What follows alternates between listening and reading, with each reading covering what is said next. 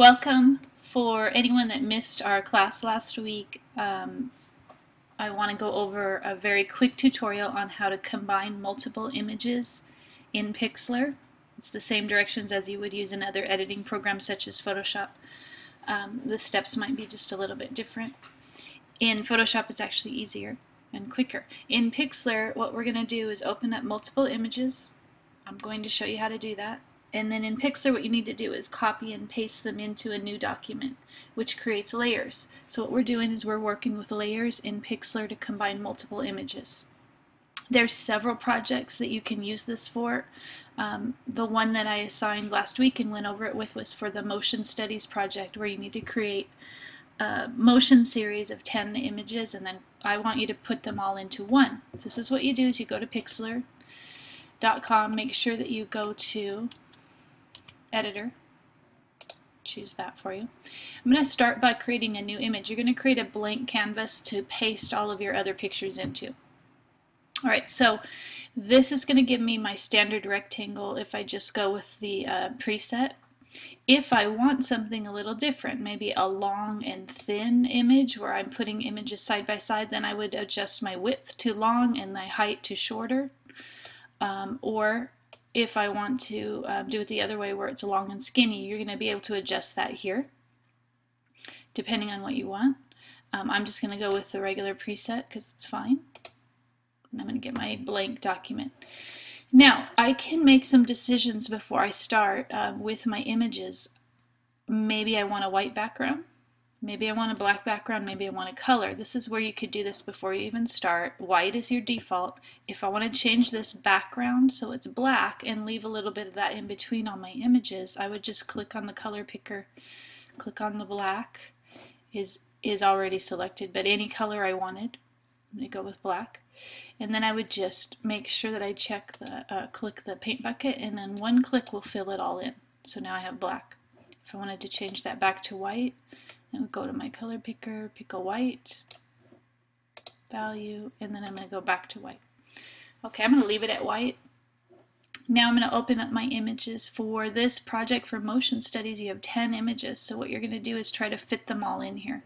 If your canvas isn't quite right, like say you want to do 5 and 5, you might have some extra uh, canvas space to crop off when you're done. Don't worry about how they fit. Just do your best what looks good and then crop it. Crop off the extra if you don't need it when you're done.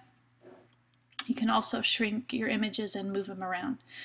Alright, to start, I'm going to open my images.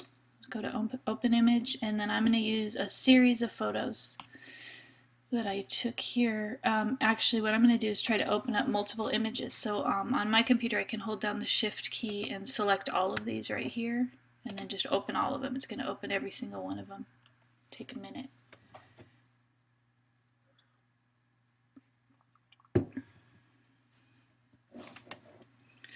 Alright, so now I have all these images on top of, they're all floating on top of my blank. Okay, so I'm going to take one at a time, and it's real simple and repetitive, is I'm going to go to Edit, Select All. This whole photo is now selected. I'm going to go to Edit, Paste, or copy, sorry, edit copy it first. And then I click on my blank and I'm going to go to edit paste. Okay, the first thing you're going to notice it's way too big. The image is much too large for my canvas. What I want to do is shrink it down. I also will notice that I have a layer. So my background layer is the one that's just plain white and now I have layer 1 which means the first picture that I pasted. If you're doing the uh, motion studies projects you're going to have 10 layers on top of your background. If you're doing the triptych project, you'll have three layers on top of your background, for example. It just depends on every photo that you paste in would be a layer. If you created text, that would be another layer. So um, I'm going to sh uh, shrink this down. So I'll go to Edit, Free, ship, free Transform, and this is where I can shrink my image and move it and place it where I want it to go. I'm just going to keep making it smaller and smaller. Smaller. Okay, this is all up to you. If you want to have it, I'm making it really small. I'm going to have a little bit of white around the edges. I'm going to show white in between. When I'm done, I'm going to click yes. I'm done. This image now we don't need. If you want, you can just, um, oops, you can close it because you don't need it, or you can just minimize it. No, I don't need to save it. Okay, I'm going to go to my next one. I'm going to repeat those steps. Edit, select all, edit, copy. Done with that. Click on my blank canvas and go to edit paste. Once again, I need to shrink it. So I go to edit free transform. I'm also got layer two. Like I told you, you're going to have two layers now. I'm going to make this the same size. Let's check it. I want it to go right next to there with about the same amount of space. Maybe a little higher. You can adjust it. Now once you adjust it and click and say yes, if it doesn't look right, you can go back and adjust it again as long as you're on this layer. If I'm on this layer, I can move this photo. So if something isn't moving the way you want it to, you have to make sure you're on the right layer. Use the move tool. I can move this one, but not this one over there. See how it, it only moves the one that I have selected. Okay. I'm going to move ahead and show you what it looks like when I've got more pasted. Okay, so I went ahead and placed um, several of my photos in and adjusted their size. Now I might want to rearrange these depending on um, the final um, result. But what I've been doing is placing each image and then I've decided to test them to make sure they're the right size because it really matters to me that they're all the exact same size. So I'm going to show you how I was doing that. So select the layer. I'm going to look with this one. Obviously it's the wrong size. So select the layer that you're working on. If you look over here, you can see the tiny thumbnail. So I know this is layer 7. So I select that and I can test, and yeah, that's the right one to move it. Now what I've been doing is I've been making them all the same size um, and testing that by going on top of another one another layer and then I'll just edit and then um, free transform it to match the right size. You can see I've been playing with this and trying to get them all at least close to the same size. That's pretty close. And then uh, yes, and then I can move it back to its spot. Looks to me like it's a little bit wide and a little bit short, so um, you can see right here. I want to adjust that again because I'm showing white space in between, I'm trying to get this just right. That's a little bit better.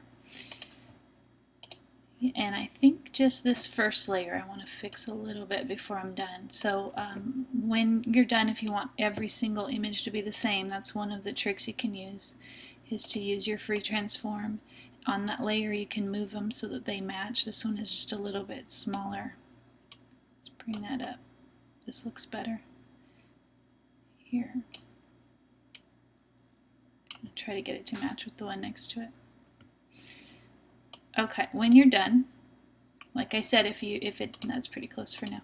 Um, if you have some overlap that you don't want, that this part of the canvas doesn't work.